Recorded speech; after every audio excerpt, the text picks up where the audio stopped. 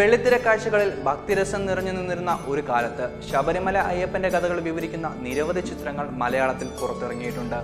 കറുപ്പിലും വെളുപ്പിലും തുടർന്ന് ഈസ്റ്റ്മാൻ കളറിലുമൊക്കെ സെല്ലുലോയിഡിൽ നിറഞ്ഞ അയ്യപ്പൻ കഥകൾ ഇന്നും മലയാളികൾക്ക് ഭക്തിക്കൊപ്പം തന്നെ മനസ്സിൽ നിറഞ്ഞു നിൽക്കുന്ന ഓർമ്മകളാണ്.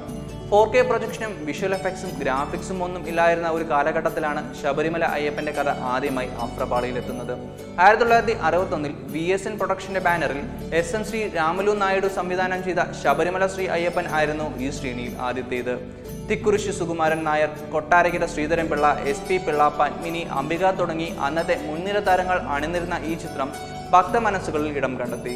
തുടർന്ന് ആയിരത്തി തൊള്ളായിരത്തി എഴുപത്തി അഞ്ചിൽ നീല പ്രൊഡക്ഷന്റെ ബാനറിൽ പി സുബ്രഹ്മണ്യം സംവിധാനം ചെയ്ത സ്വാമിയപ്പൻ ഏറെ ശ്രദ്ധേയമായി. ശ്രീകുമാരൻ തമ്പി രചന നിർവഹിച്ച ചിത്രത്തിന്റെ ആദ്യ ഭാഗം അയ്യപ്പ കഥകളുടെ പുരാവൃത്തവും രണ്ടാം ഭാഗം അന്നത്തെ ശബരിമല കാഴ്ചകളെയും ഉൾപ്പെടുത്തിയതായിരുന്നു. ജെമിനി ഗണേശൻ മധു രാഘവൻ ശ്രീവിദ്യ ഉണ്ണിമേരി മാസ്റ്റർ ശേഖർ മാസ്റ്റർ രഘു തുടങ്ങി വമ്പൻ താരനിര അണിനിരുന്ന ചിത്രത്തിൽ വയലാർ ശ്രീകുമാരൻ തമ്പി ദേവരാജൻ എന്നിവർ ചേർന്നൊരുക്കിയ ഗാനങ്ങളും സൂപ്പർ ഹിറ്റുകളായിരുന്നു. ആ കൊല്ലത്തെ സംസ്ഥാന അവാർഡിൽ മികച്ച ബാലതാരം ക്യാമറാമാൻ ഗാനരചയിതാവ് തുടങ്ങി അഞ്ചോളം പുരസ്കാരങ്ങൾ ഈ ചിത്രം സ്വന്തമാക്കി. അന്ന് ബോക്സ് ഓഫീസിൽ വൻ വിജയം കൊയ്ത ചിത്രത്തിന്റെ ലാഭം ഉപയോഗിച്ചാണ് നീലിമലയ്ക്ക് സമാന്തരമായി ചിത്രത്തിന്റെ നിർമ്മാതാവ് പേ സുബ്രഹ്മണ്യം സ്വാമി അയ്യപ്പൻ റോഡ് നിർമ്മിച്ചത്.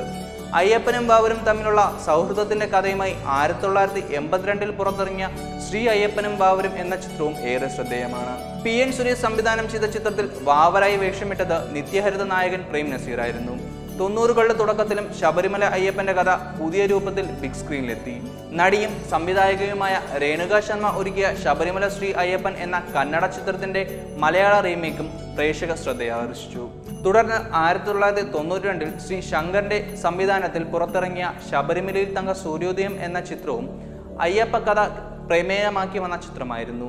മലയാള സിനിമാ ലോകം പൂർണമായും ഭക്തിയുടെ ലോകത്തു നിന്നും യാഥാർത്ഥ്യ ജീവിതങ്ങളുടെ നേർക്കാഴ്ചയിലേക്ക് വഴിമാറുമ്പോഴും ശബരിമല യാത്രയും അയ്യപ്പനുമൊക്കെ പുതിയ ചലച്ചിത്രങ്ങളിൽ നിറഞ്ഞു നിൽക്കുന്നു. ശ്രീനിവാസൻ സംവിധാനം ചെയ്ത ചിന്താവിഷ്ടയായ ശ്യാമളയും ലാൽജോ സംവിധാനം ചെയ്ത പട്ടാളം എന്ന ചിത്രവുമൊക്കെ ചില ഉദാഹരണങ്ങൾ മാത്രമാണ്. രണ്ടായിരത്തി പത്തിൽ സ്വാമി വിശ്വ ചൈതന്യയുടെ സംവിധാനത്തിൽ പുറത്തിറങ്ങിയ തത്വമസി എന്ന ചിത്രമായിരുന്നു വീണ്ടും ഒരിക്കൽ കൂടി ഭക്ത മനസ്സുകളിൽ ശബരിമലയുടെ തിരക്കാഴ്ച ഒരുക്കിയത്. പുതിയ കാലത്തിന്റെ സാങ്കേതിക വിദ്യകൾ കൊണ്ട് വീണ്ടും അയ്യപ്പന്റെയും ശബരിമലയുടെയും കഥകൾ അഫ്രപാളിയിലെത്തിക്കാൻ അണിയറ നീക്കങ്ങൾ നടത്തുകയാണ് സിനിമാ ലോകം ഇപ്പോഴും. സ്വാമി ശരണം.